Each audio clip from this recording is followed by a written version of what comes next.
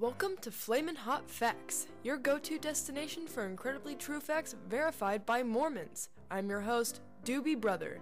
Today's subject 10 things you didn't know about Vanoss Gaming, the YouTuber who appears to be really into owls. Let's get started.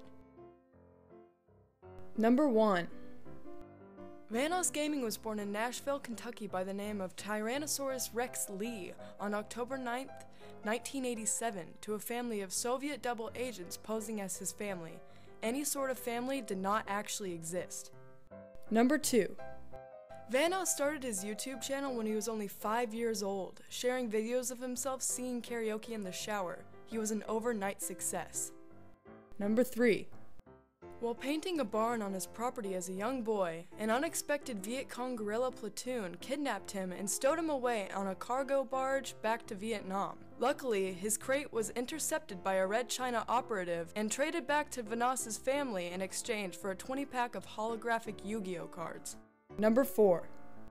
By the age of 10, Vanoss had reached a staggering 6 feet 9 inches and made national headlines when he escaped to the woods and made a name for himself by devouring whole bushes within seconds in order to restore his YouTube channel with fresh content.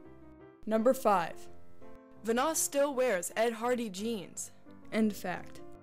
Number 6. In 2004, Vanoss won a lawsuit against the US government over the issue of Area 51. Vanoss simply asked, quote, America, answer yes or no.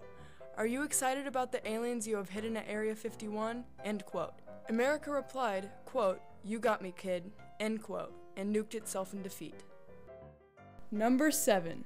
It is little known that Vanoss is actually the creator of the famed 90s television show I Got the Nasty in My Taxi. Number 8.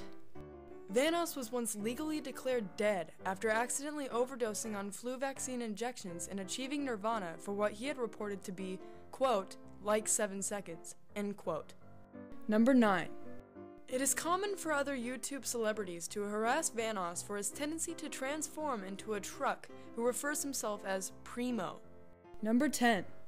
Vanoss is a published author and has recently completed his 12 part series called Vanoss on the Cross, in which he tells the story of how he, like Jesus Christ, was condemned for copyright infringement and literally got nailed to a cross by the YouTube Council of Elders.